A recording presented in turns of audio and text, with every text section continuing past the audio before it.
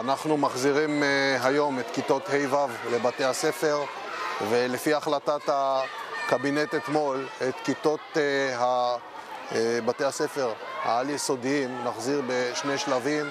ביום ראשון את תלמידי החטיבה העליונה, וביום ראשון שלאחריו את תלמידי חטיבת הביניים.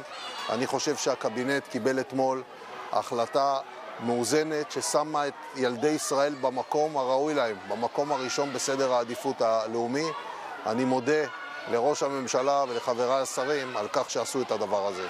אין חשש בעקבות העלייה בתחבורה שראינו היום, שאתמול יש כבר מעל 900, אין חשש שזה יפגע בתלמידים?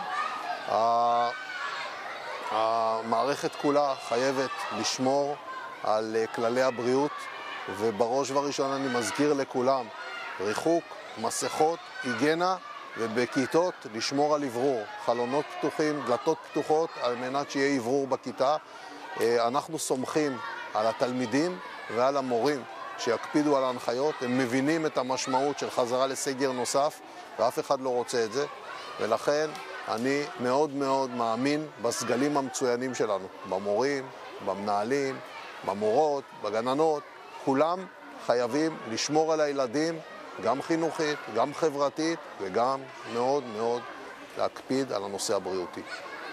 חנוכה אה, בפתח, ואיתו חופשה ארוכה. יש לך איזה בשורה להורים? אנחנו עובדים על מתווה, אינני יודע אם הוא יקרה. המתווה הזה הוא מתווה של אפשרות של לימודים תוך כדי תקופת החופש, היא חמישה ימים, החל מה-13 לדצמבר.